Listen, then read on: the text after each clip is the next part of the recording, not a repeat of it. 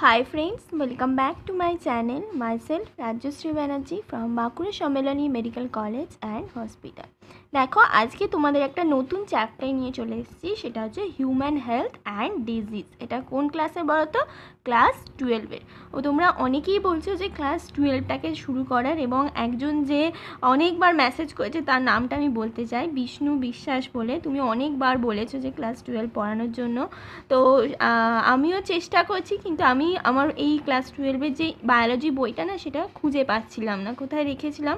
খুঁজে পাচ্ছিলাম না, তো সেই জন্য আমি খুঁজছিলাম। কারণ পিডিএফ থেকে পড়ালে অতটাও মানে ফ্রুটফুল হয় না বলে আমার মনে হয়। কারণ বই থেকে পড়ালে যেভাবে লাইন বাই লাইন দেখে দেখে মানে দাগ দিয়ে দিয়ে পড়ানো যায়, সেইভাবে পিডিএফ থেকে হয় না। তো সেই জন্যই আমি ওয়েট করছিলাম, তো ফাইনালি আমি বইটা খুঁজে পেয়েছি। তো সেই জন্য শুরু করছি আজকে ক্লাস টুয়েলভে চ্যাপ্টার এইট যেটা তুমি আর একটা কমেন্টে মেনশন করে দিয়েছিলে যে হিউম্যান হেলথ অ্যান্ড ডিজিজটা করালে ভালো হয়। তো ওটাই আমরা আজকে শুরু করছি। কিন্তু সামনে যেহেতু আমাদের নিট আছে পরীক্ষা, তাই আমি কিন্তু একদম সেই লাইন বাই লাইন যেরকম অন্য চ্যাপ্টারগুলো পড়াই, সেইভাবে পড়াবো না। নতুন একটা কোর্স লঞ্চ করেছি, যেটা দেখেছ তোমরা যে ম্যারাথন বলে, তো ম্যারাথন ক্লাসের আমরা সেলটা পড়িয়ে দিয়েছি। ঠিক একইভাবে আমরা এই হিউম্যান হেলথ অ্যান্ড ডিজিজ চ্যাপ্টারটাও আমরা খুব তাড়াতাড়ি তিন দিন কি চার দিনের মধ্যে আমরা কিন্তু পুরো চ্যাপ্টারটাকে শেষ করার চেষ্টা করব। এবং পুরো লাইন বাই লাইন পড়ব না, যেখানগুলো আমাদের ইম্পর্টেন্ট নিটের জন্য এবং যেখান থেকে কোশ্চেন আসে, যেখানটা আমাদের জানা দরকার। হয়তো আগে কোনো দিন কোশ্চেন আসেনি, কিন্তু আসতে পারে। সেই জায়গাগুলো আমি সব মেনশন করে দেবো। মানে আমি যেগুলো বলব, সেগুলো মোটামুটি পড়ে নিলে তোমাদের কিন্তু হিউম্যান হেলথ অ্যান্ড ডিজিজ থেকে যতগুলো কোশ্চেন আসবে, সব কিন্তু পারার কথা। ওকে তো চলো শুরু করি হ্যাঁ? তো ফার্স্টে যেটা ফার্স্টে এই যে পার্টটা আছে, এই পার্টে আমরা এই জায়গাটা খালি পড়ব, এই আগেরগুলো অত পড়ার দরকার নেই, ওগুলো গল্পের মতো, ওখানগুলো নিজেরাও পড়ে নেবে মানে ওখান থেকে কোশ্চেন আসে না, ঠিক আছে? যেখানগুলো থেকে কোশ্চেন আসে, আমি সেই জায়গাগুলো খালি উল্লেখ করে যাব, কারণ তোমাদের সামনে নিট আছে ওকে এখন লাইন বাই লাইন গল্প বোঝার মতো টাইম আমাদের নেই। ঠিক আছে? তো ফার্স্টেই আমরা দেখব হোয়াট ইজ হেলথ অর্থাৎ হেলথের ডেফিনেশনটা কি? হেলথের ডেফিনেশন আমাদের জানা দরকার এবং এখান থেকে কোশ্চেনও আসতে পারে। তোমাদের দেখো এনসিআরটিতে আছে complete physical mental and social wellbeing এটাকে বলা হয় হেলথ এই যে হেলথটাকে ডিফাইন করছে it could be define as a state of complete physical mental and social wellbeing অর্থাৎ হেলথটাকে ডিফাইন করা যায়। এইভাবে যে একটা স্টেট যেখানে আমরা কমপ্লিটলি ফিজিক্যাল এবং মেন্টাল এবং সোশ্যালভাবে আমরা ওয়েল আছি ওকে এই রকম একটা স্টেটকে বলা হয় হেলথ ওকে এবারে বলছে when people are healthy they are more efficient at work this increase productivity and brings brings economic prosperity মনে করো একটা কারখানায় একটা কারখানায় মনে করো হেলদি পিপল কিছুজন আছে, তাদের মনে করো মানে কিছু লোকজন আছে, এক দুটো কারখানা মনে করো। একটা কারখানায় যারা লোকজন আছে, প্রত্যেক দিন তারা আসে এবং তারা কাজকর্ম করে। আর একটা কারখানায় মনে করো এখানেও তিরিশটা আছে, এখানেও তিরিশটা লোক। এই তিরিশটা লোকের মধ্যে পনেরোটা লোকের মানে প্রায়ই জ্বর সর্দি লেগে থাকে, তো তারা কাজে আসতে পারে না। তাহলে কি হচ্ছে? এই যে কারখানাটা আছে সেই কারখানাটায় সব তিরিশটা লোকই প্রত্যেক দিন আসছে। এই কারখানাটায় কি হচ্ছে? তিরিশটা লোক আসতে পারছে না, কারণ তাদের পিপলস হেলদি নয়। তো সেই জন্য কি হচ্ছে? যারা পিপলস হচ্ছে হেলদি নয়, তারা কি এফিশিয়েন্টভাবে তাদের ওয়ার্কটাও করতে পারছে না মানে ঠিকঠাকভাবে তাদের ওয়ার্ক করতে পারছে না। ফলে কি হচ্ছে? প্রোডাক্টিভিটি যেটা, সেটা হচ্ছে কি? সেটা কমে যাচ্ছে। এবং আমাদের ইকোনমিক প্রসপারিটি অর্থাৎ যে টাকা পয়সার ব্যাপারটা, এই যে কারখানাটায় হেলদি পিপল সব আছে, সেই কারখানায় ইকোনমিক দিকটা বেড়ে যাচ্ছে আর যেটাই নেই সেটা ইকোনমিক দিকটা কমে যাচ্ছে। এইভাবেই হেলথ কিন্তু একটা ডিপেন্ড করে হচ্ছে ইকোনমিক প্রসপারিটি একটা হেলথের ওপর হচ্ছে কিন্তু ভেরি ভেরি ইম্পর্টেন্টভাবে ডিপেন্ড করে থাকে ওকে সেই জন্যই বলছি পিপলস যখন হেলদি হবে, তখন সে কী করবে? তোমার মনে করো যে শরীরটা ভালো আছে, মনে করো জ্বর সর্দি যেদিন হয়েছিল, সেদিন তুমি ওইভাবে কাজ করতেই পারবে না, যেদিন তোমার শরীরটা সুস্থ থাকবে। অর্থাৎ যেদিন তুমি হেলদি আছো, অর্থাৎ ফিজিক্যালি মেন্টালি এবং সোশ্যালিভাবে তুমি ওয়েল আছো যখন, তখন তুমি কি মোর এফিশিয়েন্টভাবে কোনো একটা ওয়ার্ক করবে এবং তার প্রোডাক্টিভিটিটাও ভালো হবে এবং সেই প্রোডাক্টিভিটি থেকে ইকোনমিক যে দিকটা আমাদের সেটাও কিন্তু ডেভেলপ করবে। তো এই যে রিলেশনটা সেটাও আমাদের একটু বোঝার তাহলে আমাদের ফার্স্ট জানলাম ডেফিনিশন অফ হেলথ তারপরে হচ্ছে হেলথের এই ব্যাপারটা যে হেলথ ভালো থাকলে এফিশিয়েন্টলি কাজ করবে প্রোডাক্টিভিটি বাড়বে ইকোনমিক প্রসপারিটি বাড়বে। ওকে এবারে আমরা একটু আগের পাতাটায় চলে যাব। আগের পাতায় দেখো, এই জায়গাটা হচ্ছে ইম্পর্টেন্ট কি বলছে? হেলথ ইজ অ্যাফেক্টেড বাই অর্থাৎ এই যে হেলথ আমরা জানলাম, সেটা কি কি দ্বারা অ্যাফেক্টেড হয়?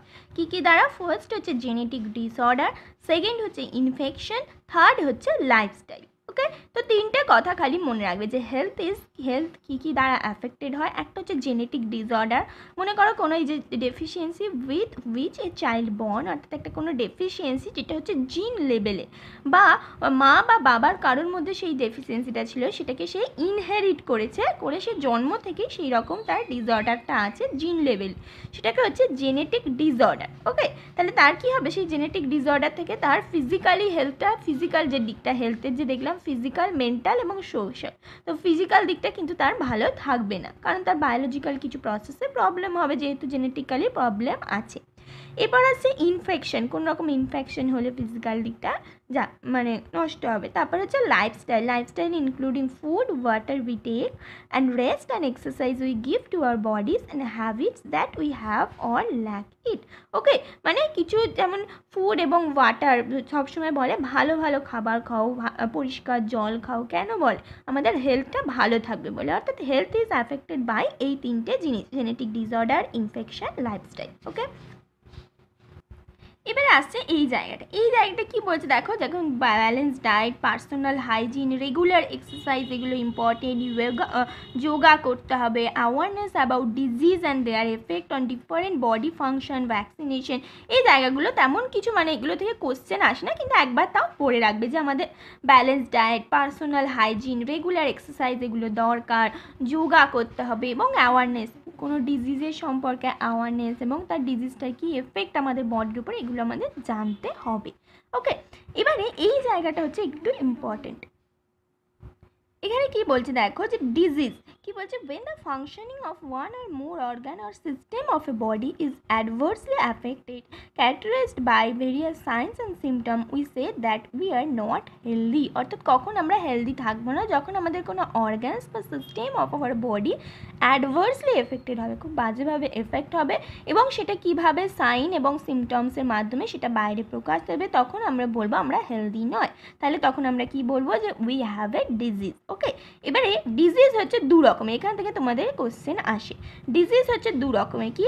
Infectious non infectious okay disease which are easily transmitted from one person to another সেটাকে বলা হয় ইনফেকশিয়াস অর্থাৎ একটা পার্সন থেকে একটা পার্সনে চলে যাবে, সেটা হচ্ছে ইনফেকশিয়াস আর যেটা হচ্ছে একটা পার্সন থেকে আরেকটা পার্সনে যায় না, সেটা হচ্ছে non infectious infectious disease are very common and every one of are suffers from this at sometimes or other যেটা বলে কমন কোল্ড ভাইরাল যে ইনফেকশনগুলো সেগুলো হচ্ছে ইনফেকশিয়াস ডিজিজ হয়ে থাকে ওকে এখন যেমন কোভিড কোভিড হচ্ছে একটা ইনফেকশিয়াস ডিজিজ তো তোমাদের এখান থেকে কিন্তু কোশ্চেন আসতেই পারে যে কোভিড নাইন্টিন এটা কি ইনফেকশিয়াস নন ইনফেকশিয়াস কারণ এখন কোভিডের চলছে বলে। Okay some of the infectious disease like AIDS are fatal অর্থাৎ এইডসটাও কিন্তু ইনফেকশিয়াস ডিজিজের মধ্যেই পড়ছে। তা তোমাদের কিন্তু কোশ্চেন আসতে পারে যে ইনফেকশিয়াস ডিজিজ বলে সেখানে অনেকগুলো অপশন থাকলে। সেখানে এইডস যেখানে থাকবে, সেখানে তোমাদের মানে কোন ডিজিজটা ইনফেকশিয়াস এবং কোন ডিজিজটা ইনফেকশিয়াস নয়, অর্থাৎ নন ইনফেকশিয়াস সেটা সম্বন্ধে একটু ধারণা দরকার। এবং তোমাদের বইতে যে এক্সাম্পলগুলো আছে, অর্থাৎ এইডস হচ্ছে ইনফেকশিয়াস ডিজিজ আর ক্যান্সার হচ্ছে নন ইনফেকশিয়াস ডিজিজ এটা কিন্তু ভালো করে মনে রাখবে। তাহলে এখান থেকে কিরাম কোশ্চেন আসবে আমরা বুঝতে পারলাম। ডিজিজ হচ্ছে দু রকমের ইনফেকশিয়াস নন ইনফেকশিয়াস ইনফেকশিয়াস হচ্ছে যেটা একটা পার্সেন থেকে আরেকটা পার্সনে যায়, সেটাকে বলা হয় ইনফেকশিয়াস আর নন ইনফেকশিয়াস হচ্ছে যেটা যায় না আর কি মানে ট্রান্সমিট করে না। এবার দুটোর এক্সাম্পল এখানে যে দুটো দেওয়া আছে সেই দুটো যেন কোনো রকমই ভুল না হয়। এইডস হচ্ছে নন ইনফেকশিয়াস ডিজিজ এই ইনফেকশিয়াস ডিজিজ আর ক্যান্সার হচ্ছে নন ইনফেকশিয়াস ডিজিজ ওকে এবারে আসছে এই জায়গাটা। তো আমাদের এই অবধি কমপ্লিট হল। এবার হচ্ছে কমন ডিজিজ ইন হিউম্যানস এখানে প্যাথোজেন সম্বন্ধে একটু আইডিয়া রাখো। যে এই যে ডিজিজ হচ্ছে ডিজিজ কজিং যে অর্গানিজম তাকে আমরা বলছি প্যাথোজেন এবং most parasite are therefore pathogen এবং বেশিরভাগ প্যারাসাইট কিন্তু প্যাথোজেন হয়ে থাকে। কেন?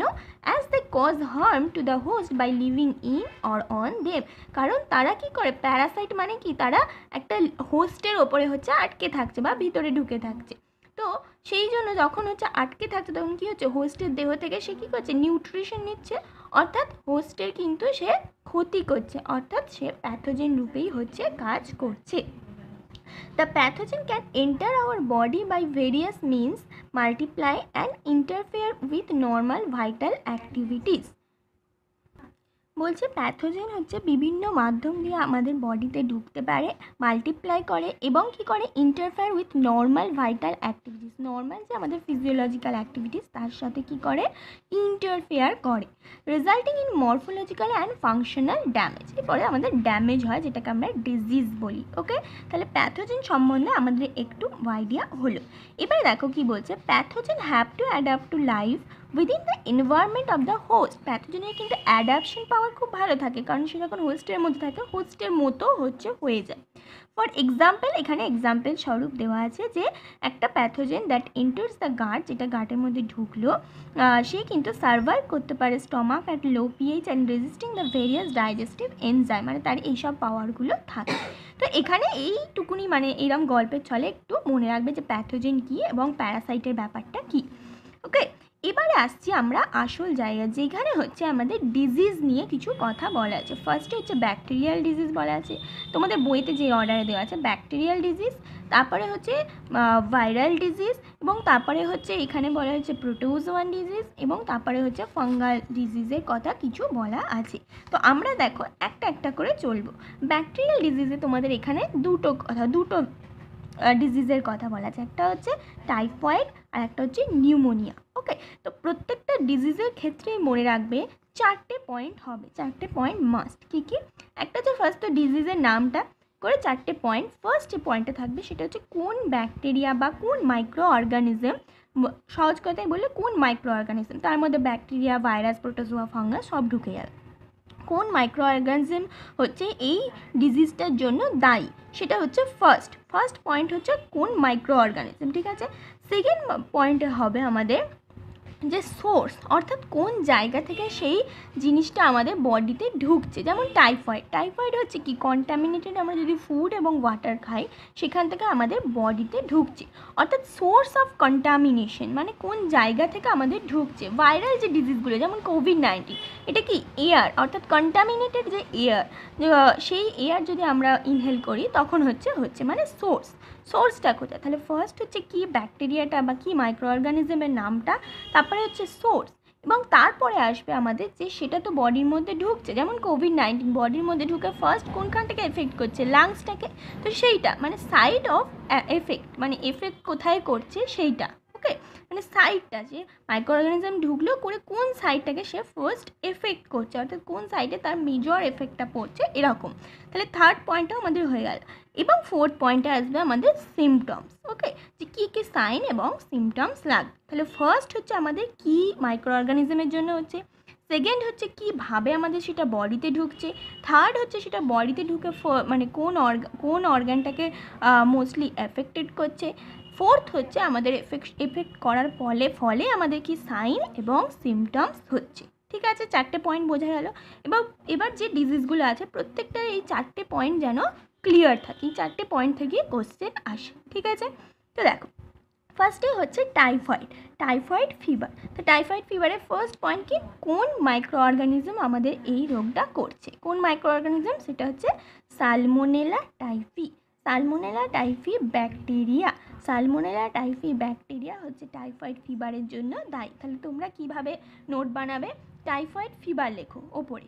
লিখে চারটে পয়েন্ট লিখবে। ফার্স্ট পয়েন্টে হচ্ছে কোন মাইক্রো অর্গানিজম করছে? সেটা ড্যাশ দিয়ে লেখো সালমোনেলা টাইপি ব্যাকটেরিয়া তার পরের পয়েন্ট তার পরের পয়েন্ট আমাদের কি আসবে যে কীভাবে সেটা ঢুকছে, অর্থাৎ সোর্স অফ কন্টামিনেশন বলছে this pathogen generally enter the small intestine through through কিসের মধ্যে? Food and water contaminated with them and migrate to other organ through blood অর্থাৎ কিসের মাধ্যমে ঢুকছে? কন্টামিনেটেড ফুড অ্যান্ড ওয়াটার তাহলে সেকেন্ড পয়েন্টটা হচ্ছে সোর্স অফ কন্টামিনেশন ড্যাশ দিয়ে লেখো কন্টামিনেটেড ফুড এবং ওয়াটার ওকে আমি এত কিন্তু লিখিনি, কারণ লিখতে গেলে আরও তোমাদের দেরি হতো ভিডিওটা দেওয়ার জন্য। সেই জন্য আমি বলে দিচ্ছি, নিজেরা নিজেদেরটা বানিয়ে নাও ওকে এই শুনতে শুনতেই নিজেরা নিজেদের বানিয়ে নেবে। ফার্স্ট পয়েন্ট হবে সালমোনেলা টাইফি ব্যাকটেরিয়ামের জন্য হচ্ছে। সেকেন্ড পয়েন্ট হবে কন্টামিনেটেড ফুড এবং ওয়াটার থেকে হচ্ছে। থার্ড পয়েন্ট কী লিখেছিলাম? থার্ড পয়েন্ট হচ্ছে কোন অর্গ্যানটাকে মোস্টলি এফেক্ট করছে। তাহলে কোন organ the pathogen generally enter the small intestine অর্থাৎ স্মল ইন্টেস্টাইনে এরা এন্টার করছে এবং সেখান থেকে ব্লাডের থ্রু অন্য অর্গ্যানে যাচ্ছে। তাহলে কোন অর্গ্যানটাকে করছে স্মল ইন্টেস্টাইনটাকে মেনলি ইনফেক্ট করছে এবং সেখান থেকে ব্লাডের থ্রু অর্থাৎ স্মল ইন্টেস্টাইন ফার্স্টে লিখবে, তারপরে অ্যারো দিয়ে লিখবে ব্লাড এবং তারপরে অ্যারো দিয়ে লিখবে আদার অর্গ্যানস টু অর্থাৎ স্মল ইন্টেস্টাইনে আসছে এবং ব্লাডের থ্রু অন্য অর্গ্যানেও চলে যাচ্ছে। হয়ে গেল। এবারে ফোর্থ পয়েন্ট যেটা আমাদের সাইন এবং সিমটমস সেটা পড়ে গেলো সাইন এবং সিমটমস দেখো কী কী? Sustained high fever weakness stomach pain constipation headache and loss of appetite are some of the common symptoms of this disease okay sign এবং সিমটমসটা একটা অল ওভার মনে রাখার চেষ্টা করবে প্রত্যেকটার। মেন যেটা যেগুলো ইম্পর্টেন্ট যেটা খুব বেশি ইম্পর্টেন্ট সেটা হচ্ছে কোন মাইক্রো অর্গানিজমের ফলে হচ্ছে এবং তারপরে মেন ইম্পর্টেন্ট হচ্ছে কোন অর্গ্যানটাকে অর্থাৎ ফার্স্ট এবং থার্ড পয়েন্টটা হচ্ছে ভেরি ভেরি ইম্পর্টেন্ট এই দুটো দুটো জায়গা থেকে মেন কোশ্চেনটাকে তোলে। আর সেকেন্ড এবং ফোর্থ যে পয়েন্টটা অর্থাৎ সোর্স অফ কন্টামিনেশন এবং সাইন এবং সিমটমস এটাকে হালকা করে তোমরা মনে রাখার চেষ্টা করবে। ঠিক আছে? ওখান থেকে তুললেও তুলতে পারে কোশ্চেন ঠিক আছে? তাহলে আমাদের কি হলো? টাইফয়েড যেহেতু ফিভার তাহলে এখানে হাই ফিভার হবে। ফিভার হলে এমনি আমাদের উইকনেস হয়। স্টমাক পেন এইভাবে মনে রাখে যে ফিভার হলে আমাদের খেতে ইচ্ছা হয় না। অর্থাৎ খাওয়ার সাথে স্টমাকের একটা রিলেশন আছে, অর্থাৎ স্টমাক পেন হবে, পেটে ব্যথা হচ্ছে, ওই জন্য আমরা খেতে পারছি না। এবং হেডেক আমাদের মাথা যন্ত্রণা হয় ফিভার হলে। দেখো ফিভারের সাথেই সবকটা এইভাবে রিলেশন করে মনে রাখবে। লস অফ অ্যাপেটাইট অর্থাৎ আমাদের খেতে ইচ্ছা হয় না এবং কনস্টিপেশন ওকে তো এগুলো হচ্ছে some of the common symptoms of this disease এবারে দেখো কি বলছি intestinal perforation and death may occur in severe case অর্থাৎ মোস্টলি অ্যাফেক্টেড করছে কোথায়? ইন্টেস্টাইনে এবং ইন্টেস্টাইনে যেটা থার্ড পয়েন্টে আছে যে কোথায় অ্যাফেক্টেড করছে? ইন্টেস্টাইনে অ্যাফেক্ট করল এবং ইন্টেস্টাইনে কী করছে? পারফোরেশন করে দিচ্ছে, অর্থাৎ ফুটো ফুটো করে দিচ্ছে। এবং এই যে ফুটো করছে ইন্টেস্টিনাল পারফোরেশনের জন্য অনেক সময় ডেথও দেখা যায় এই টাইফয়েড ফিভারের জন্য। ওকে এবারে দেখো, এবারে প্রত্যেকটা প্রত্যেকটা ডিজিজেরই এই চারটে পয়েন্ট কিন্তু কমন আর কিছু কিছু ডিজিজের ক্ষেত্রে আর কিছু কিছু পয়েন্ট হচ্ছে এক্সট্রা যেগুলো বলা আছে, সেগুলো লেখা আছে। এখানে দেখো একটা যেমন extra typhoid fever could be confirm by কি? ওয়াইডাল টেস্ট অর্থাৎ টাইফয়েড ফিভার তোমার হয়েছে কি না সেটা কোন টেস্টের মাধ্যমে কনফার্ম হবে? ওয়াইডাল টেস্ট এটা কিন্তু ইম্পর্টেন্ট আমাদের নিটা আগেও এসছে এবং আসতেও পারে যে কোন টেস্টের মাধ্যমে টাইফয়েড ফিভার হয়েছে সেটা তুমি কনফার্ম হবে। সেটা হচ্ছে ভাইডাল টেস্ট এই classic case in medicine that Mary Mallon nickname Typhoid Mary এই ম্যারি মেলন বা টাইফয়েড মেরি ইনি একজন কুক ছিলেন এবং এর মাধ্যমেই হচ্ছে প্রথম টাইফয়েডটা মানে কেরিয়ার হিসেবে পুরো সোসাইটিতে ঢুকে গেছে। ওকে তো এটা একটা গল্প আছে, সেই গল্প এখন বলার দরকার নেই। তোমাদের যেটুকুনি দরকার, আমি বলেছি ম্যারাথন ক্লাসে বলব। তো সেইটাই যখন আবার পড়াবো পুরো ডিটেলসে তখন আমি গল্পটা সেরকম হলে বলে দেবো। ওকে এবারে আসছে পরেরটা, অর্থাৎ নিউমোনিয়া তাহলে টাইফয়েড আমাদের ক্লিয়ার হয়ে গেল যে, আমি একটাই কিন্তু খুব সুন্দর করে বলার চেষ্টা করছি পয়েন্ট ওয়াইজ তারপরেগুলো আমি কিন্তু খুব তাড়াতাড়ি বলে দেবো যে, পরপর পয়েন্টগুলো তাহলে তখন তোমাদের লিখে নেবে। টাইফয়েড ফিভার ফার্স্ট লিখবে, তারপরে ফার্স্ট হচ্ছে কোন অর্গানিজম মাইক্রো অর্গানিজমের জন্য, সেখানে হচ্ছে Salmonella typhi bacteria second point হচ্ছে সোর্স অফ কন্টামিনেশন হচ্ছে কন্টামিনেটেড ফুড এবং এয়ার তারপর হচ্ছে কোথায় হচ্ছে গিয়ে এফেক্ট করছে কোন অর্গানে সেটা হচ্ছে ইন্টেস্টাইন লিখেছি। অ্যারো দিয়ে লিখেছি ব্লাড অ্যারো দিয়ে লিখেছি আদার অর্গান মানে ইন্টেস্টাইনে ফার্স্ট যাচ্ছে, গিয়ে ওখানটাকে এফেক্ট করছে, তারপরে ব্লাডের থ্রু অন্য অর্গানেও যাচ্ছে।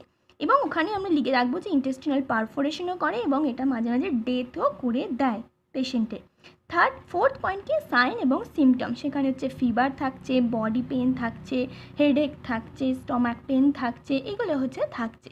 কনস্টিপেশন এবং কি? লস অফ অ্যাপেটাইট এইসব সাইন্স এবং সিমটমস হচ্ছে থেকে থাক থাকছে। এবং একটা টেস্টে যে টেস্ট যেটা হচ্ছে ভাইডাল টেস্ট যেটার মাধ্যমে আমরা টাইফয়েড ফিভার হয়েছে, সেটাকে কনফার্ম করছি।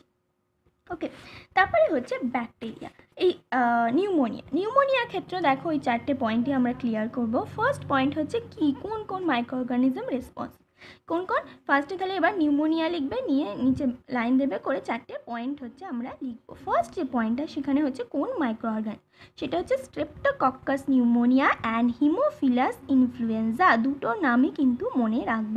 এটা হচ্ছে স্ট্রেপ্টোকক্কাস নিউমোনিয়া হিমোফিলি হিমোফিলিয়া হিমোফিলাস হচ্ছে ইনফ্লুয়েঞ্জা দুটোই হচ্ছে রেসপন্সিবল ফর নিউমোনিয়া এবারে হচ্ছে কোথায় হচ্ছে সোর্স অফ কন্টামিনেশন তার পরের পয়েন্ট আমাদের আসছে সোর্স অফ কন্টামিনেশন সেখানে আসতে দেখো বলছে যে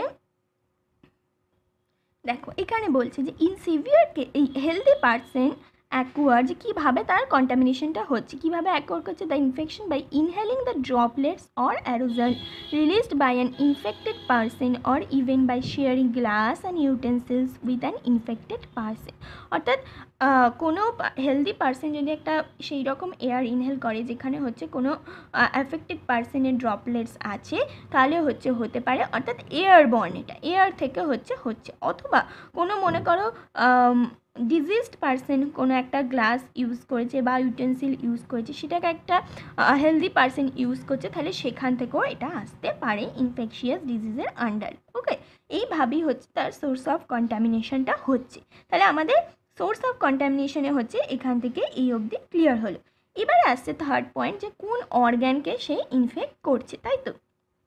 সেখানে বলছে, দেখো, এ দেখো which infect the alveoli of the lungs অর্থাৎ লাংসের অ্যালভিওলাইটাকে ইনফেক্ট করছে। As a result of the infection এবং এই ইনফেকশনের ফলে কি হচ্ছে? The alveoli get filled with fluid leading to severe problem in respiration অর্থাৎ কি হচ্ছে? এই লিখবে যে এটা অ্যালভিওলাই ফার্স্ট হচ্ছে অ্যালভিওলাই যাচ্ছে, এবং অ্যালভিওলাটাকে কীভাবে সে এফেক্ট করছে? সেখান থেকে হচ্ছে, সেখানে কি হচ্ছে বলতো? অ্যালভিওলায় ওই যখন মাইক্রো অর্গানিজমটা ঢুকছে অ্যালভিওলাই মনে করছে বাইরের একটা কিছু এসছে, তখন সে কী করছে? বেশি বেশি পরিমাণে মিউকাস সিক্রেশন করছে। ফলে কি হচ্ছে? অ্যালভিওলাইগুলো হচ্ছে ফ্লুইড ফিল্ড হয়ে যাচ্ছে এবং এর ফলে কি হচ্ছে? রেসপিরেশনের প্রবলেম একটা দেখা দিচ্ছে। হলো? এবারে ফোর্থ পয়েন্ট আমাদের কি? ফোর্থ পয়েন্ট হচ্ছে সাইন এবং সিমটম সাইন সিমটমে কি? ফিভার্স হবে চিলস হবে কাফ হবে অ্যান্ড হেডেক হবে। অর্থাৎ ফিভার রিলেটেড ফিভার হলে আমাদের হেডেকও হয় কাঁপুনিও দেয়, যেটাকে চিলস বলছি, এবং কাফ মানে কাশিও হতে দেখা যায়।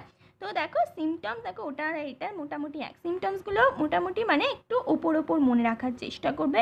মেন যেটা মনে রাখবে ব্যাকটেরিয়া এবং কোন জায়গাটায় হচ্ছে সেটা মানে কোন ব্যাকটেরিয়া ওই ডিজিজটা করছে এবং কোন জায়গা, কোন অর্গ্যানটাকে সেটা অ্যাফেক্ট করছে এবং যদি থাকে কীভাবে এফেক্ট করছে, তাহলে সেটাও একটু মনে রাখার চেষ্টা করবে। ওকে তারপরে কি বলছে? Dysentery plague diphtheria etcetera some of other bacterial disease of man এটা কিন্তু ভেরি ভেরি ইম্পর্টেন্ট নামগুলো। তাহলে ব্যাকটেরিয়াল ডিজিজ তোমাদের এনসিআরটিতে পাঁচটা উল্লেখ করেছে। ফার্স্ট হচ্ছে টাইফয়েড তারপরে হচ্ছে নিউমোনিয়া তারপরে হচ্ছে ডিসেন্ট্রি প্লেগ এবং ডিপথেরিয়া এরমভাবে কোশ্চেন আসতে পারে যে প্লেগ হচ্ছে কী রকম ডিজিজ মানে প্লেগের যে মাইক্রো অর্গানিজমটা রেসপন্সিবল সেটা কি? ব্যাকটেরিয়া ভাইরাস না কি? তো তখন আমাদের মনে করতে হবে যে সেটা এক ধরনের ব্যাকটেরিয়াল ডিজিজ এই যে ডিসেন্ট্রি প্লেগ এবং diphtheria etcetera are some of the other bacterial disease in man okay তাহলে পাঁচটা ব্যাকটেরিয়াল ডিজিজের কথা বলা আছে, পাঁচটার নাম আমাদের মনে রাখতে হবে।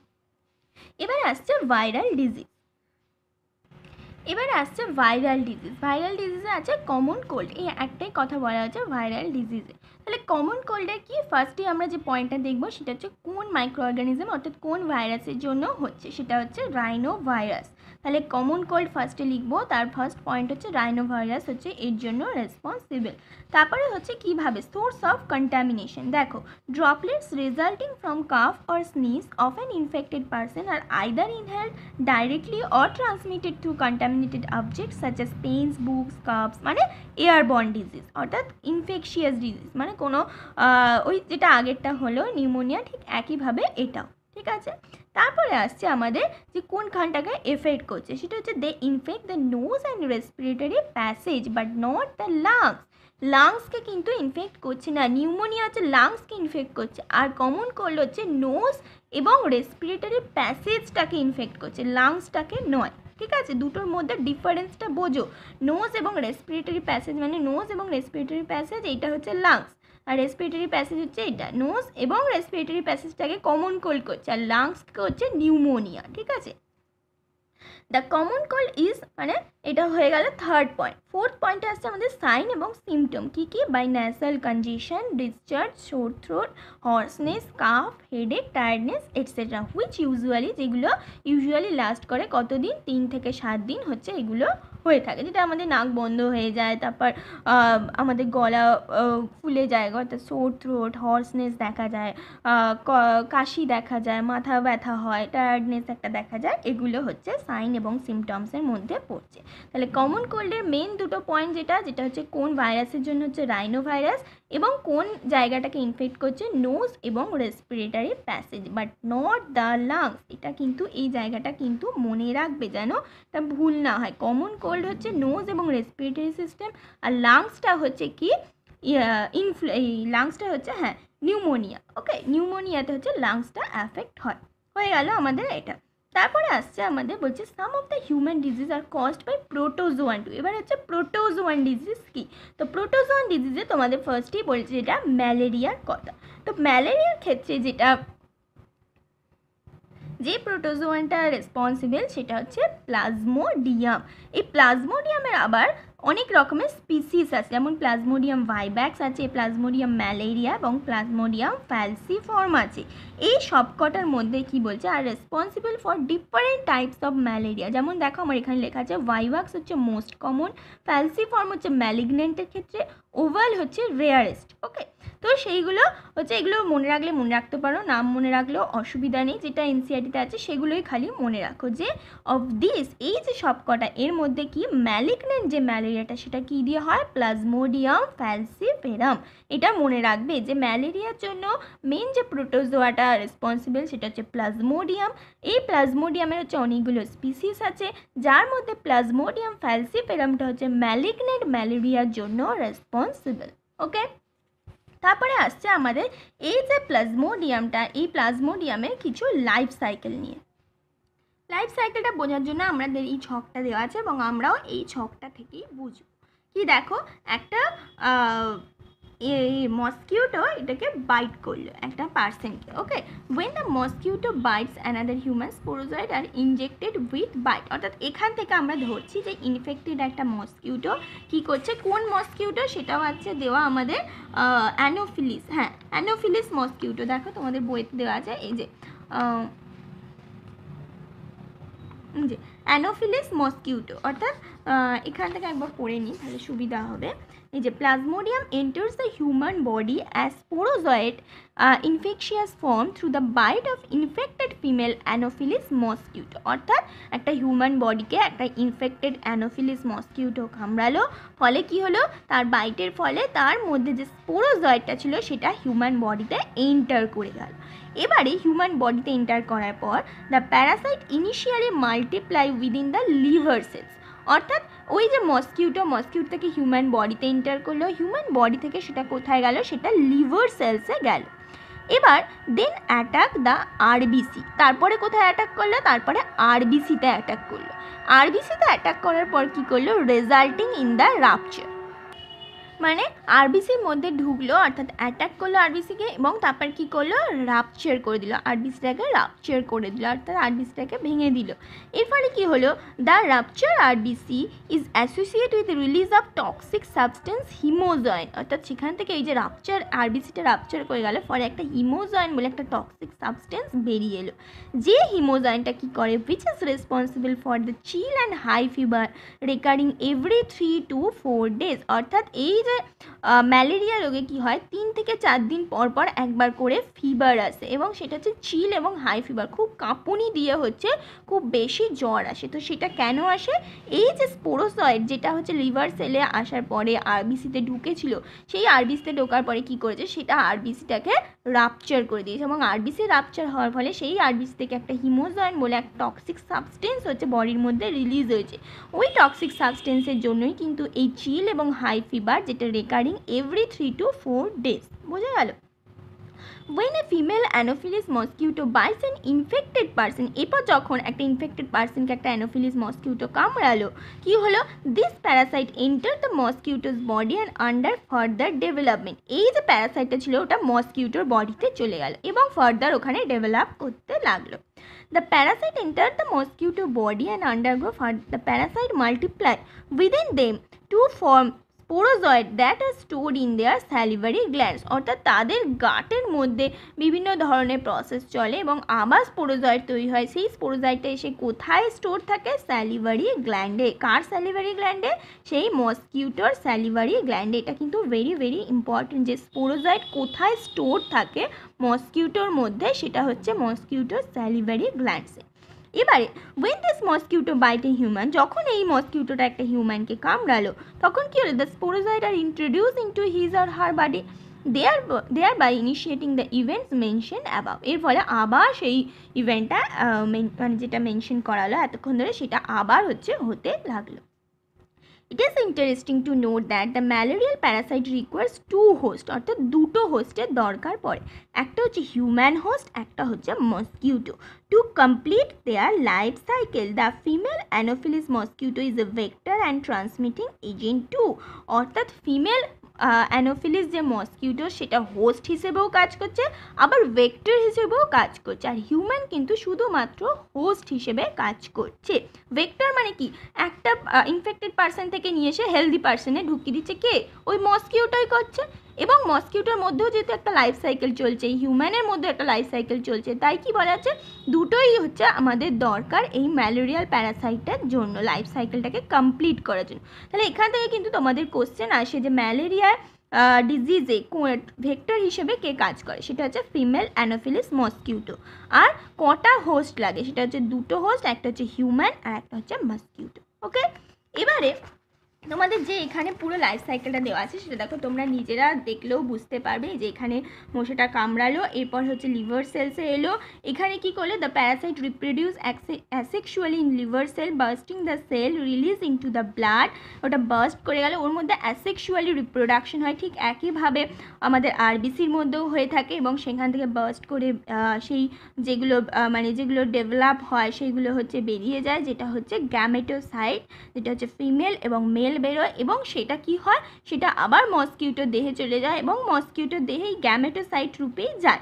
এবং মসকিউটোর দেহে সেক্সুয়াল যে ফেজটা সেটা হচ্ছে কাটা যদি বলে অ্যাসেক্সুয়াল ফেজটা অর্থাৎ আমাদের যে প্লাজমোডিয়ামের অ্যাসেক্সুয়াল ফেজটা কোথায় হয়, সেটা হচ্ছে হিউম্যান হোস্টের মধ্যে, সেক্সুয়াল ফেজটা হচ্ছে মসকিউটো হোস্টের মধ্যে। সেক্সুয়াল ফেজ বলতে সেই মসকিউটোর গাটে গিয়ে কি হয়, সেখানে গিয়ে ফার্টিলাইজেশন হয় এবং এই যে fertilisation and development take place in the mosquito's gut এবং তার ফলে আবার স্পোরোজয়েড তৈরি হয়, যেটা স্যালিভারি গ্ল্যান্ডসে হচ্ছে স্টোর থাকে এবং সেই স্যালিভারি গ্ল্যান্ডস থেকে আবার যখন বাইট করে, সেইটা গিয়ে আবার বডিতে ঢুকে পড়ে হেলদি বডিতে করে আবার সেটাকে ইনফেক্ট করে দেয়। এইভাবেই জিনিসটা চলতে থাকে।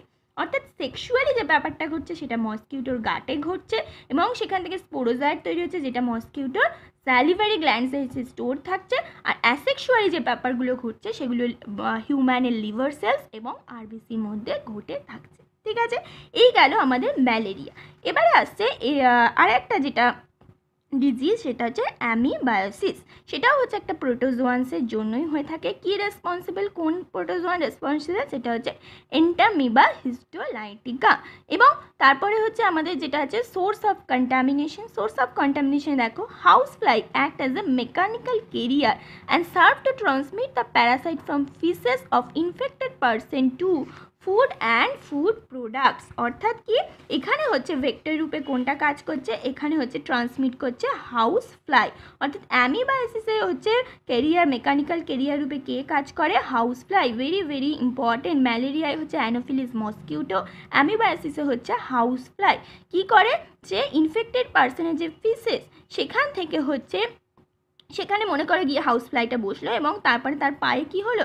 সেই ইনফেকশিয়াস যে কি মানে জীবাণুগুলো, সেগুলো কি হচ্ছে? তার পায়ে লেগে যাচ্ছে হাউস ফ্লাই তারপর সে কি এসে মনে করো একটা খালি রাখা আছে ফুড সেখানে এসে বসল। তাহলে তার পা থেকে সেই ইনফেকশিয়াস যে জীবাণুগুলো, সেগুলো কি হলো?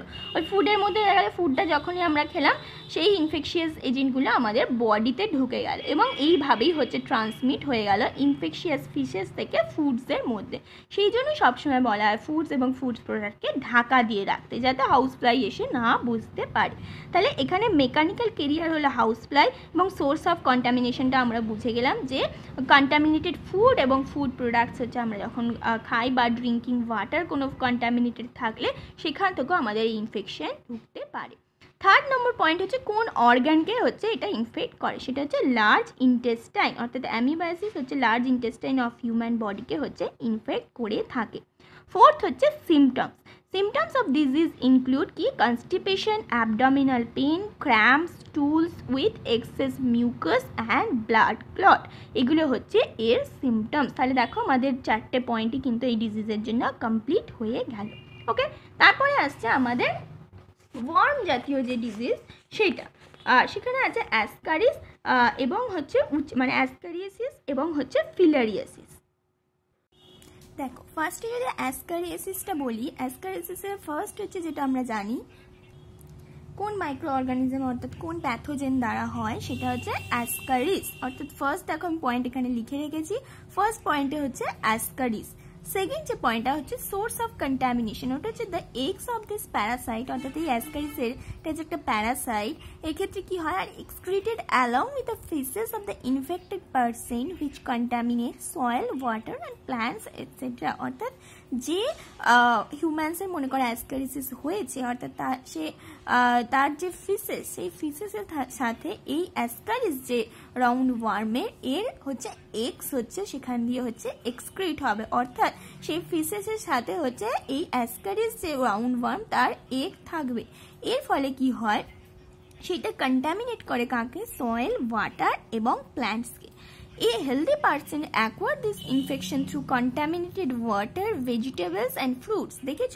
শুধুমাত্র কন্টামিনেটেড যে ওয়াটার আমরা খুব ভালো পরিষ্কার খেলাম তা নয়। ভেজিটেবল এবং ফ্রুটস যেগুলো খাচ্ছি সেগুলো সেগুলোর মাধ্যমেও কিন্তু আমাদের হতে পারে এই অ্যাসকারিয়াসিস কারণ যে ভেজিটেবলস এবং ফ্রুটস মনে করো যে মাটিতে জন্মাচ্ছে সেই মাটিটা কন্টামিনেটেড অর্থাৎ এই যে কন্টামিনেটেড সয়েল করছে ওয়াটার করছে, একইভাবে সয়েল এবং ওয়াটারকে কন্টামিনেটেড হলে সেই জায়গায় গড়ে ওঠা প্ল্যান্টটাও কিন্তু কন্টামিনেটেড হয়ে যাবে। তাহলে সেই প্ল্যান্টটা আমরা যদি ইনটেক করি, তার মাধ্যমেও আমাদের কিন্তু এই অ্যাসকেরিয়াসিস রোগটা হয়ে থাকে। ঠিক আছে? তাহলে সোর্স অফ কন্টামিনেশনটা আমরা জানলাম। এরপর আসছে আমাদের তিন নম্বর পয়েন্ট অর্থাৎ কোন অর্গ্যানকে হচ্ছে ইনফেক্ট করছে? এটা যেহেতু একটা ইন্টেস্টিনাল প্যারাসাইট তাহলে এটা ইন্টেস্টাইনকে এফেক্ট করবে। চার নম্বর আসছে আমাদের সিমটমস সিমটমস কি দেখো? চার নম্বর পয়েন্টে symptoms of this disease include internal bleeding muscular pain fever anaemia and blockage of the intestinal passage এইভাবে মনে রাখতে পারো ইন্টারনাল ব্লিডিং অর্থাৎ ইন্টেস্টাইনে ব্লিডিং হবে।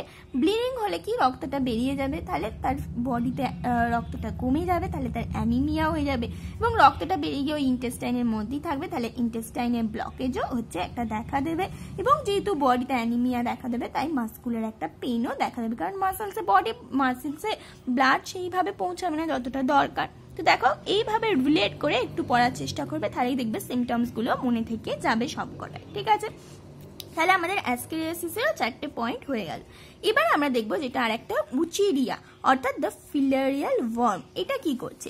উচেরিয়া, অর্থাৎ Wuchereria bancrofti and Wuchereria malayi the filarial worm cause a slowly slowly developing chronic inflammation of the organ in which they live for many years অর্থাৎ অর্থাৎ এই যে ওয়ার্মগুলো এই ওয়ার্মগুলো বডিতে ঢুকলে কি করবে? স্লোলি ডেভেলপ করবে একটা chronic inflammation of the organ মানে যে জায়গায় এরা বেঁচে থাকবে, অর্থাৎ সেই জায়গাগুলোর নাম বলছে lymphatic vessels of the lower limb mainly usually কোথায় থাকে? লোয়ার লিম্বের লিমফ্যাটিক ভেসেলসে এই যে ওয়ার্মগুলো ফিলারিয়াল ওয়ার্ম সেগুলো হচ্ছে ওখানে থাকে এবং স্লোলি ডেভেলপ করে কি? একটা ক্রনিক ইনফ্ল্যামেশন এই রকম ধরনের হচ্ছে, দেখো লোয়ার লিমটা এই ধরনের হয়ে গেছে এবং জেনিটাল অর্গানকেও এরা কিন্তু করে থাকে। এদের যে genital organ are also often affected অর্থাৎ এদের অ্যাফেক্টেড এরিয়া কোথায়?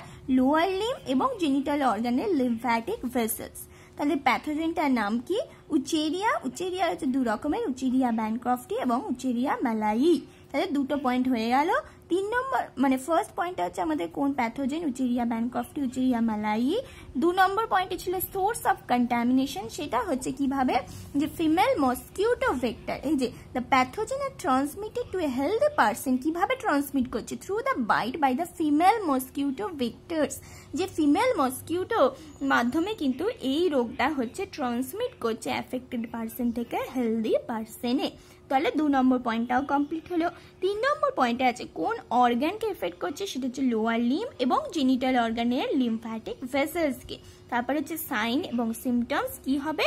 ক্রনিক একটা ইনফ্লামেশন দেখা দেবে। দেখো আমি ওয়ান টু থ্রি ফোর বলে লিখে রেখেছে। থ্রি এখানেও আছে এখানেও আছে। অর্থাৎ দুটো অর্গানের লিমফ্যাটিক ভেসেলসকেই এরা এফেক্ট করে থাকে। তো তাহলে আমাদের এই অবধি হচ্ছে কমপ্লিট হলো। এরপরে আসছে ফাঙ্গাল ইনফেকশন এটা হচ্ছে ওয়ার্ম অর্থাৎ ফিলারিয়াল ওয়ার্ম যেটা দেখলাম হেলমিনথিস তারা হচ্ছে ডিজিজ হচ্ছে অ্যাসকেরিয়াসিস এবং এলিফ্যান্টিয়াসিস যেটাকে ফিলারিয়াসিসও বলা যায় এলিফ্যান্টিয়াসিস বা ফিলারিয়াসিস এরপর আসছে যেটা আমাদের ফাঙ্গাস রিলেটেড হচ্ছে ডিজিজ এগুলো কিন্তু যে পয়েন্টগুলো আমি বলছি না, সেগুলো কিন্তু খুব ইম্পর্টেন্ট পয়েন্ট যেমন হচ্ছে তেমন বলবে তোমাদের ফিলারিয়াসিস রোগটা কোন প্যাথোজেনের মাধ্যমে হয়? উচেরিয়া ব্যাংকফটি তারপরে পয়েন্টে দিল উচেরিয়া মেলাই তারপরে দিল বোথ অফ দিস তারপরে দিল নান অফ দ্য অ্যাবভ তাহলে তোমরা অনেক সময় হয়তো উচ্চেরিয়া ব্যান্ড কফরিটা মনে রাখবে, ব্যান্ড কফরি। উচেরিয়া মালাইটা অনেক সময় মনে থাকে না, কিন্তু দুটোর মাধ্যমে কিন্তু হয়ে থাকে। তাহলে অপশনটা হবে বোথ অফ দিস এবং কোন অর্গ্যানকে হচ্ছে এফেক্ট করছে সেটা হচ্ছে lymphatic vessels of the lower limb and genital organs lower limb এবং জেনিটাল অর্গানের লিমফ্যাটিক ভেসেলস এবং এটা কি করে? এখানকার ইনফ্ল্যামেশন করে দেয় ক্রনিক ইনফ্ল্যামেশন এই ইনফ্ল্যামেশনের জন্য এটা হচ্ছে এই হাতির পায়ের মতো দেখতে হয়ে যায়। সেই জন্য এই রোগটাকে বলা হয় এলিফ্যান্টিয়াসিস এলিফ্যান্টের মানে হাতির পায়ের মতো এটা দেখতে হয়ে গেছে। এই পাটা দেখো হিউম্যানসের লেগসের মতো, কিন্তু এটা দেখো, হাতির পায়ের মতো অনেকটা দেখতে হয়েছে। তাই এই রোগটাকে বলা হয় এলিফ্যান্টিয়াসিস মানে এতটাই ইনফ্ল্যামেশন হয়, সেই জন্য বলছে এটা ক্রনিক ইনফ্ল্যামেশন যে সেটা হাতির পায়ের মতো হয়ে যায়। ওকে এবারে আসছে ফাঙ্গাল ইনফেকশন কি বলছে? মেনি ফাঙ্গি বিলঙ্গিং টু জিনেরা কোন কোন ফাঙ্গিগুলো ইনফেকশন করে দেখো? Microsporum Trichophyton Epidermophyton are responsible for ringworm তাহলে রিংওয়ার্মের জন্য কোন কোন ফাঙ্গাস ফাঙ্গিগুলো কোন কোন জেনেরাল ফাঙ্গাস হচ্ছে ইনভলভ আছে? মাইক্রোস্পোরাম ট্রাইকোফাইটন এপিডার্মোফাইটন এগুলো হচ্ছে responsible for ringworm which is one of the most common infection disease in man যেটা আমরা বাংলায় বলে রাখি দাঁত। যে দাঁত হয়, সেই দাঁতটাকে হচ্ছে আমরা ইংরাজিতে বলা হয় রিংওয়ার্ম, ঠিক আছে? এটা তাহলে রিংওয়ার্মের প্যাথোজেনগুলোর নামগুলো আমরা মনে রাখলাম এবং সেখানে কি হয়? Dry scaly lesion and various part of the body such a skin nail scalp are the main symptoms of the বডিটা আমরা দেখেই থাকি যে অনেক সময় কি হয়, গায়েতে স্কিনের ওপর এরকম গোল গোল গোল গোল মতো হয়েছে, হয়ে থাকে, একটা ড্রাই স্কেলি লেশন মতো হয়ে থাকে।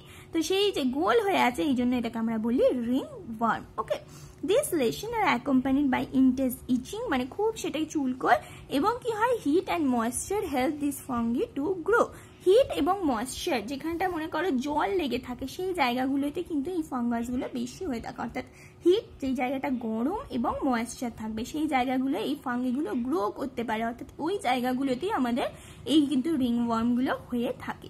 which make them thrive in skin folds such as those in the groin and between the toes অর্থাৎ between the toes এবং গ্রয়েন রিজিয়নে কিন্তু এই দুটো পাওয়া যায়, অর্থাৎ হিটও পাওয়া যায় এবং ময়েশ্চারও পাওয়া যায়। কারণ স্কিন ফোল্ডস থাকে, ফলে কি হয়? হিট হয় আর ময়েশ্চার হয়, কারণ কোনো রকমের জল লেগে গেলে সেই জায়গায় স্কিন ফোল্ড থাকার ফলে জলটা লেগে থাকে, অর্থাৎ ময়েশ্চারও হয়। ফলে কি হয়? সেই জায়গায় রিং ওয়ার্মগুলো সহজেই বেড়ে ওঠে। তাহলে মেন যে অ্যাফেক্টেড এরিয়া সেটা হচ্ছে groin and between the toes symptoms কি? ইচিং হয়ে থাকে এবং স্কিন এবং নেল স্ক্যাল্পের ওপর স্কেলি লেশন দেখা যায় রিং রাইক স্ট্রাকচার তারপর হচ্ছে তাহলে কোন এফেক্টেড এরিয়া হয়ে গেল সিমটমস হয়ে গেল, তারপর কোন আমাদের কোন এটা মানে কোন প্যাথোজেনটা এফেক্ট করছে সেটা হয়ে গেল। এবং এরপর আমরা জানব তাহলে সোর্স অফ কন্টামিনেশন এই একটাই হচ্ছে আমাদের পয়েন্ট বাকি রইল। সেটা হচ্ছে ringworm are generally acquired from soil by using towel clothes or even the comb of the infected individual অর্থাৎ এটা একটা ইনফেকশিয়াস ডিজিজ যে ইন্ডিভিজুয়ালসের ইনফেক্টেড ইন্ডিভিজুয়ালসের টাওয়েল ক্লোথস কোম এগুলো হচ্ছে ব্যবহার করলে অনেক সময় রিংওয়ার্ম একজন থেকে একজনে হচ্ছে চলে যায়। তাহলে ফার্স্ট আমাদের যে পয়েন্টটা সেটার জন্য এইটা ফার্স্ট পয়েন্ট সেকেন্ড পয়েন্ট হচ্ছে সোর্স অফ কন্টামিনেশন দু নম্বর এইটা ইউজিং টাইল এইটা এই জায়গাটা।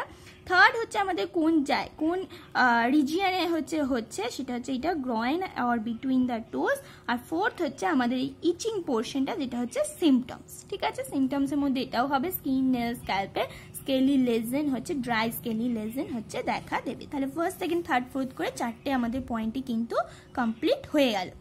এরপরে আসছে কিছুটা আবার ঠিক সেই একই রকমভাবে গল্পের কিছু পোর্শন এই জায়গাগুলো আমাদের মনে রাখতে হবে। কিন্তু মেন যদি কোশ্চেন আসে, এই ডিজিজ থেকে কিন্তু একটা কোশ্চেন আসবে। হয় প্যাথোজেন দিয়ে যে চারটে পয়েন্ট আমি প্রত্যেকটা ডিজিজে বললাম, এই চারটে পয়েন্টের মধ্যেই কিন্তু মেন কোশ্চেন আসবে। তার মধ্যে ফার্স্ট এবং থার্ড পয়েন্টটা কিন্তু ভেরি ভেরি ইম্পর্টেন্ট ঠিক আছে?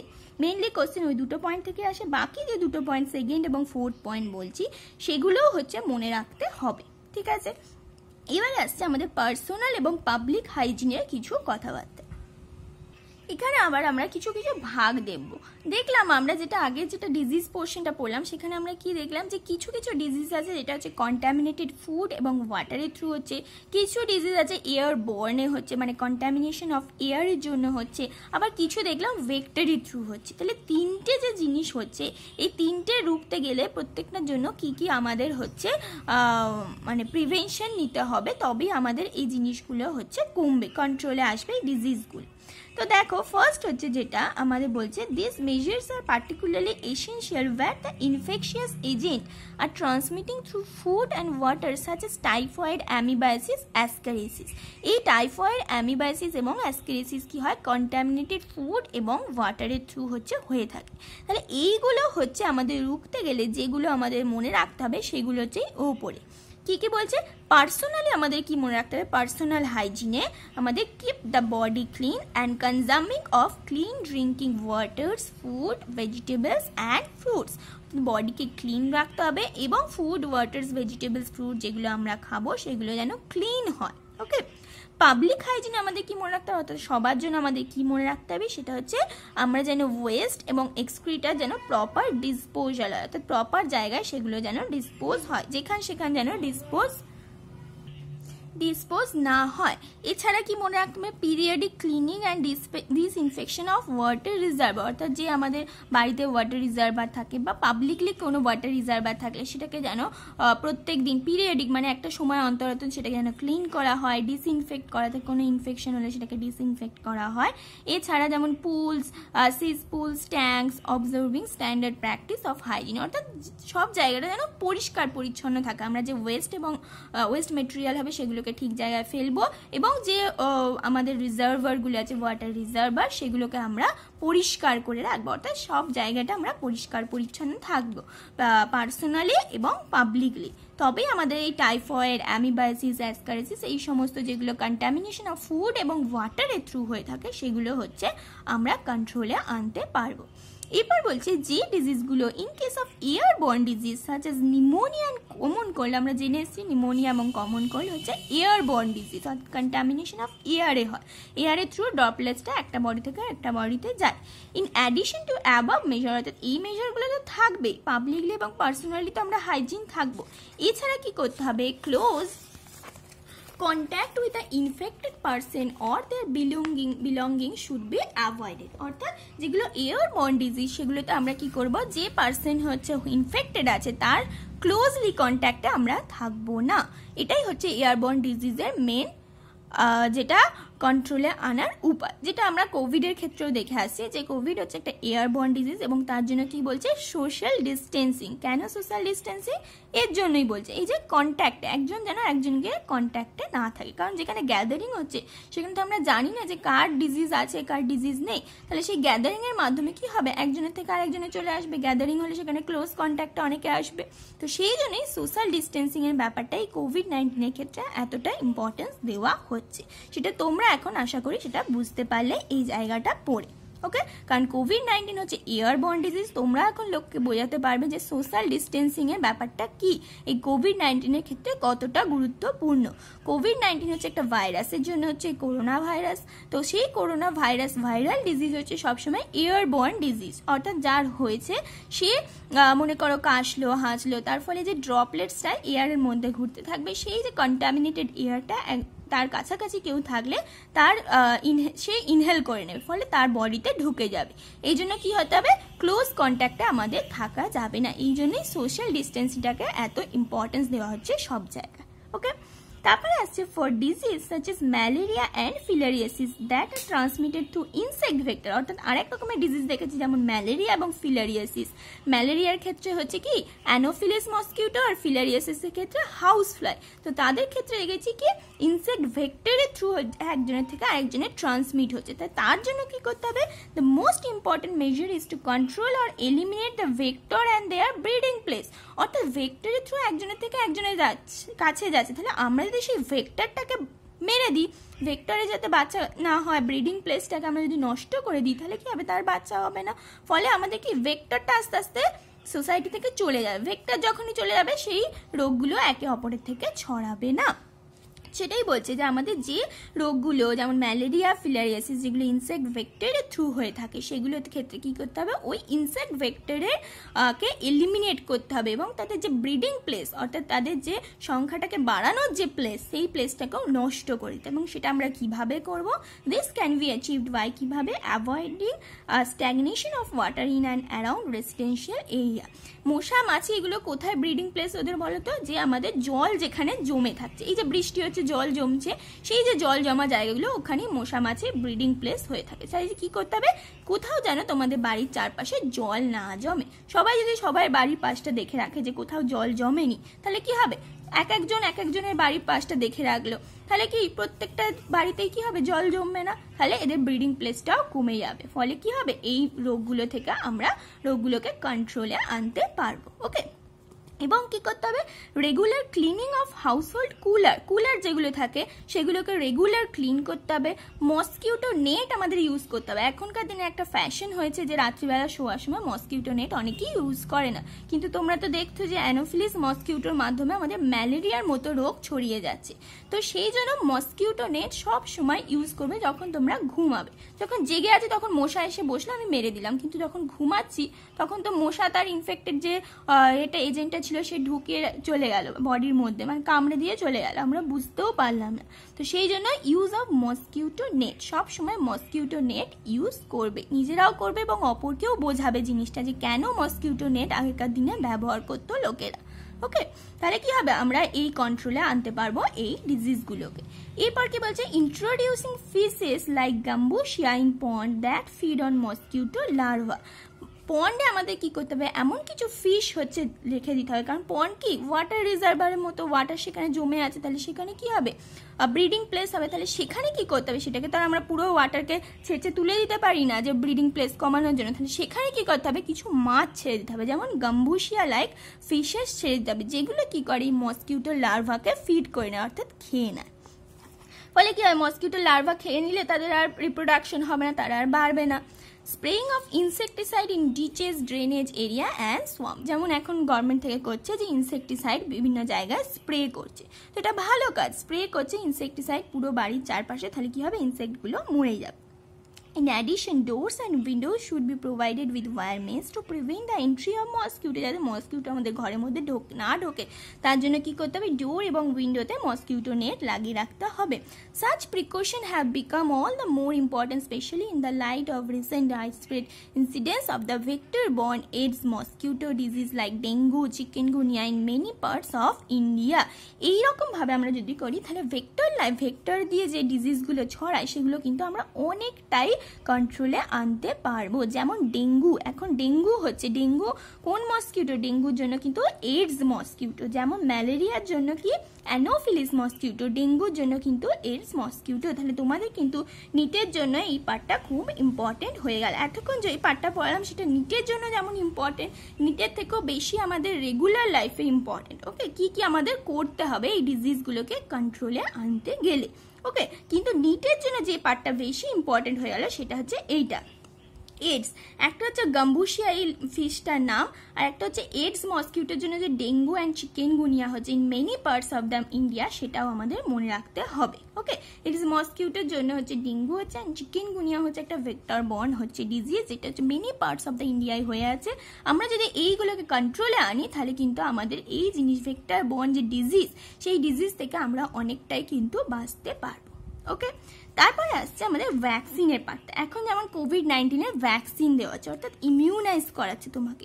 এই ভ্যাকসিন ভ্যাকসিনের মাধ্যমে কিন্তু আমাদের এই যে বলছে have enable us to complete eradicate a deadly disease like smallpox তাহলে তোমাদের ভেরি ভেরি ইম্পর্টেন্ট নিটের জন্য যে আমরা ভ্যাকসিনের মাধ্যমে কোন ডিজিজটাকে আমরা কমপ্লিটলি ইরাডিকেট করছি মানে কমপ্লিটলি সরিয়ে দিয়েছি, কোন ডিজিজটা সেটা হচ্ছে স্মল পক্স অর্থাৎ ভ্যাকসিন ছোটোবেলাতেই স্মল পক্সের ভ্যাকসিন দিয়ে দেওয়া হয়।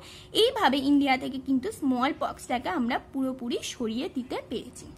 A large number of other infectious diseases যেমন polio, diphtheria, pneumonia, tetanus have been controlled to be a large extent by the use of vaccine. এই ভ্যাকসিনের ইউজ করে কিন্তু আমরা আরও কিছু ডিজিজ যেমন infectious disease polio diphtheria pneumonia tetanus এগুলোকেও আমরা কি করেছি? কন্ট্রোলে আনতে পেরেছি। কিন্তু ইরাডিকেট করতে পারিনি। ইরাডিকেট মানে সম্পূর্ণভাবে সরিয়ে দিয়েছি। কোনটা? সেটা হচ্ছে smallpox very very important নিটের জন্য কিন্তু কোশ্চেন আসতে পারে।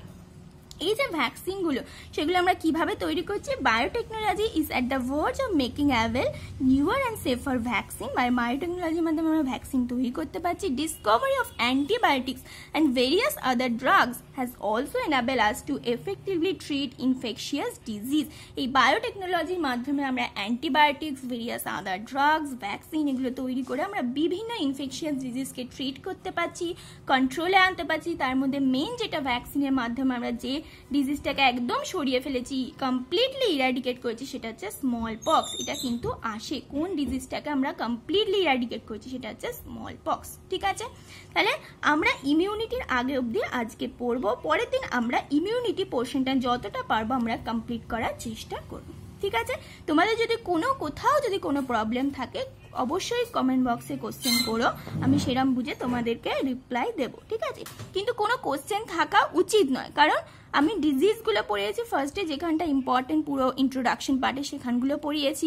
তারপরে ডিজিজের যেমন চারটে চারটে করে পয়েন্ট এবং চারটে পয়েন্ট আমি বলছি ফার্স্ট এবং থার্ড পয়েন্টটা ভেরি ভেরি ইম্পর্টেন্ট এবং সেকেন্ড এবং ফোর্থ পয়েন্টটাও আমাদের জেনে রাখতে হবে।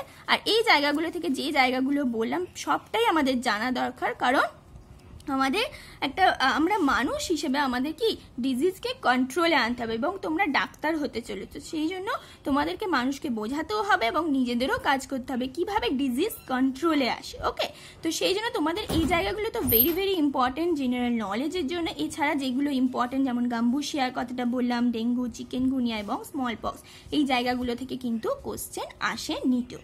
ঠিক আছে? তাহলে আজকে এই অবধি। কোনো প্রবলেম থাকলে আবারও বলছি কমেন্ট বক্সে লিখো এবং আশা করি তোমাদের এই ভিডিওটাতে হেল্পফুল হবে এইভাবে পড়ানোতে। তো যদি হেল্পফুল হয়, অবশ্যই কিন্তু বন্ধুদের সাথে শেয়ার করো। নাহলে অন্য বন্ধুরা হয়তো জানতেই পারবে না। কখনো ভালো জিনিস নিজে নেওয়ার চেষ্টা করবে না যে আমি একাই পড়ব, একাই করব। বন্ধুদের সাথেও শেয়ার করো। আর লাইক সাবস্ক্রাইব তো তোমরা করেই দিয়েছ। Okay thank you tata